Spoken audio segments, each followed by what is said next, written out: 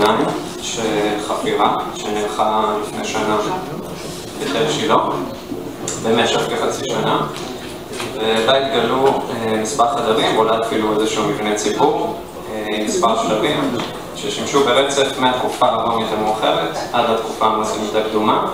כאמור, זו חפירה שעוד נערכת, והמסקנות שנציג היום במסקנות ביניים בהתאם. החפירה עצמה מבחינת המיקום, אפשר לראות פה את תל שילה, ואפשר לראות את המקום של החפירה, איפה שהחץ מצביע, ואת הדרך שמובילה אל החפירה עצמה. החפירה נערכת בעצם במיקום מעניין, בחפירת הצלה, שנמצא בדיוק בין התפר של העלייה אל התל עצמו, ולדרך שמובילה אל התל מדרום. הנה אנחנו רואים פה בתמונה של זה, הנה החפירה פה בצבע, ואת הדרך שמחפשת אל התל ליד. אם נסתכל פה במפה הזו, אנחנו רואים שבעצם הדרך שבאה מדרום לצפון לשטח החפירה היא דרך מישורית, פלטו, כנראה הדרך שאולי הובילה לאתר גן לתרופות קדומות. ואם אנחנו מסתכלים ממזרח-מערב וגם קצת מצפון, רואים בעצם את הערוצים התלולים ולכן הדרך הזאת היא באמת כנראה היא אזור הכניסה. ועל כן השטח מלכתחילה יש לו פוטנציאל להיות מעניין ונראה עכשיו בהמשך ההרצאה איך הדרך הזאת מתקשרת לשטח. ככה נראה שטח החפירה, רגע לפני שהוא נחפר, ככה הוא נראה בסוף החפירה, בסוף העונה. וכמובן שאת כל הממצא הזה צריך לצבוע ולהתחיל לחלק לשכבות סטטיגרפיות. בעצם יש פה ארבע שלבים עיקריים שזהו עד כה. מהתקופה הרומית הקדומה, אנחנו מדברים על המאות השלישית-רביעית, אל התקופה הביזנטית, ויש אפילו שרידים מהתקופה הממלוכית והלאה. מהתקופה הממלוכית והלאה לא נתעכב, כי יש רק כמה קירות ספורדיים ואדמות פחות רצפות שנשמרו פחות טוב.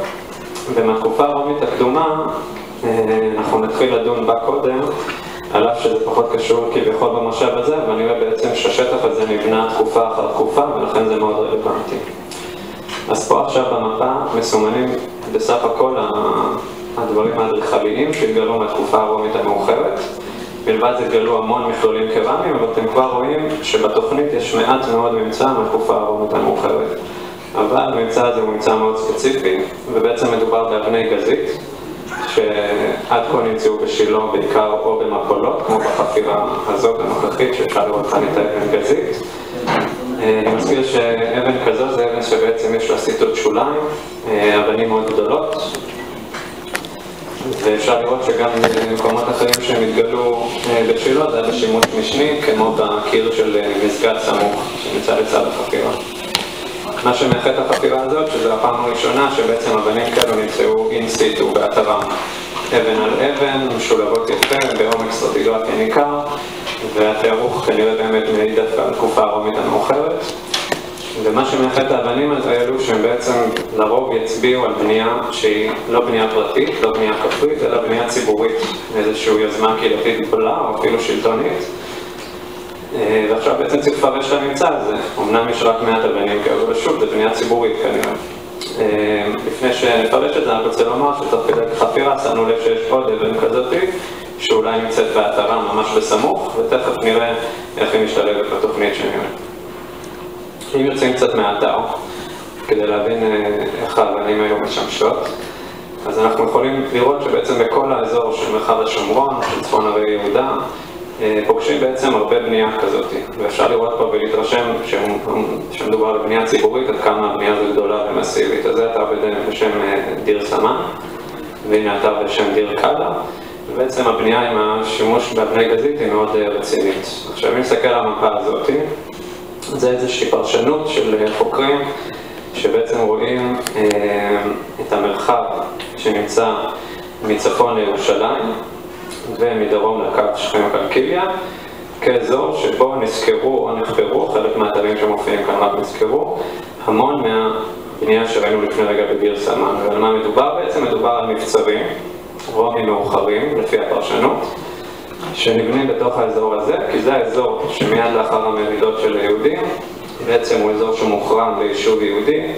אזור שמולאם בשפה של היום לשלטון. ובעצם כדי לחזק אותו בונים בעצם את המבצרים ההגנתיים האלו באזור, ויש לו עוד קשר לכך בעצם מצפון לאותו קו שראינו קודם של קלקיליה של שכם, אפשר לראות את האתרים השומרוניים. זאת אומרת, הישות השומרונית מוגבלת לאזור שנמצא צפונית לצפון הרי יהודה, דרום מרכז השומרון, ודרומה לזה רואים את המבצרים. עכשיו, זה האזור שגם שילה נמצאת בו.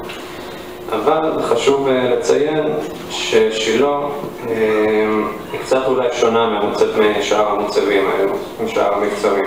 כי בעצם פה בתמונה אנחנו רואים שוב פעם את עיר סמן מרחוק, ואנחנו רואים שהוא נמצא באזור די מבודד. ורוב המבצרים האלו באמת הוקמו באזורים שולטים, מבודדים, מחוץ לתחומי יישוב, ולא על אתרים קדומים יותר. וכמובן שזה כל המאפיינים ששילה קצת לא מאפיינת אותה, זאת אומרת היא נמצאת בקרבת דרך ההר, היא קדומה הרבה לתקופה הרומית הקדומה, וכמובן שיש לה חשיבות דתית, תרבותית מאוד גבוהה. אז יכול להיות ששילה זוכה לטיפול אחר, ואפשר לפרש את האבנים האלו בצורה אחרת. ופה יש עוד איזושהי פרשנות שניתן לראות זאת. בעצם קצת מדרום לשטח החפירה, ממש מטרים ספורים, נחפר בעבר, יבגני שקודם הרצה אחד החופרים של הכנסיות הללו, שהתגלו, בעצם שתי כנסיות שיושבות אחת על השנייה, עם איזושהי שכונה ליד, ומה שפורש כאיזושהי דרך, שהשרידים שאתם רואים בכחול זה שרידים של רצפה, אולי אפילו מעין קרדו או דרך ראשית, שבעצם הולכת מדרום לצפון, עם שדרה של שתי קלונה ושתי גלריות עמודים ממזרח וממערב, ואם מסתכלים שוב פעם על המפה של שילה, אפשר לראות איפה אולי אפשר לשחזר את הדרך הזאת, ואפשר לראות שהיא מגיעה ממש עד לשטח החפירה הנוכחי. אז אני מתקרב קצת לשטח החפירה, פה אנחנו רואים את שטח החפירה בצבע, התל כאן בוורוד, ופה אנחנו רואים את הדרך הזאת ואיך היא מובילה אל השטח. עכשיו מה שמעניין שהאבנים, אבני גזית שהראינו קודם, שהן מסומנות בכתום, כולל האבן שאמרתי ששמנו לב אליה שנמצאת פה, בעצם יושבות ביחד עם הדרך, הדרך הקדומה הזאת, אולי דרך רומית, אולי. קשה לומר שהאבנים בהכרח נמצאות באוריינטציה דומה, יכול להיות שמדובר בעצם במבנים שגובלים עם הדרך הזאת וכו', צריך עוד לחפור ולראות ולהרחיב את השטח החפירה, אבל זה כבר איזשהו משהו מעניין. טוב, סיימנו עם התקופה הרומית המאוחרת, השלב הבא שהתגלה בחפירה זה בעצם התקופה הביזנטית, זה כל הקירות שאנחנו רואים פה בצבע ירוק, יחד עם רצפות שמסומנים פה בוורוד. אז בעצם רואים איזושהי חלוקה, ומה שמעניין שבאחד האזורים של החפירה התגלה שכבת שרפה די גדולה, שכבת הרס, בעצם כיסוי של רעפים על מספר מבצעים שיושבים על הרצפה, מחכים שיתגלו, והמבצעים האלו הם מאוד מעניינים ומצביעים על משהו מסוים. אם נעבור על המבצעים, אנחנו רואים למשל את החתיכת שיש הזאת, שהיא בעצם סורג לכנסיות, עם צלב מנטה, יש לזה הרבה הקבלות, חלק מהתמונות שאתם רואים פה כבר נמצאו בשילה בעבר ושייכים לכנסיות האחרות. נמצא שבר של רגל, של שולחן מזבח, של כומר.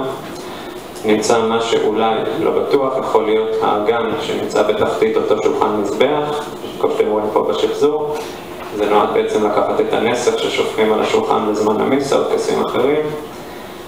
נמצאו מין תליון ושרשרת שכזו שנועדו לרוב להקטיר. ונמצאה גם פסיפסי זכוכית, מספר שבר של כותרת קורינטית קטנת ממדים, נמצאה גם כותרת קורינטית שלמה, אבל לא בקונטקסט של השפה, אלא בשימוש משני מאוחר, במפולות. וכל הממצאים האלו ביחד, ואם נצביע על משהו מאוד ספציפי, שזה בעצם, הם כולם ממצאים של ריהוט ליטורגי של פולחן, שלרוב נמצא במבנה בזיליקה, בכנסיות. זה בעצם האזור שבו אנחנו יכולים לשחזר, אפשר לראות פה את הסבורג, שולחן המזבח אמור להיות פה באמצע, והכותרת שאמרנו יכולה לשמש גם בגלריות העליונות, או אפילו את שולחן המזבח במידה והייתה לו איזושהי סככה. עכשיו השאלה, כל הממצאים נמצאו בשכבת שרפה בתוך אותה חפירה בשלב הביזנטי. אם נחזור שוב פעם למפה, קצת שראינו קודם, אז נוכל לראות את הכנסייה שיבגני חפר בעבר. בעצם מדובר בכנסייה הקדומה יותר, מעליהם של כנסייה אחרת, מהמאה החמישית לספירה. ומשהו שהיה בחפירה זה שבעצם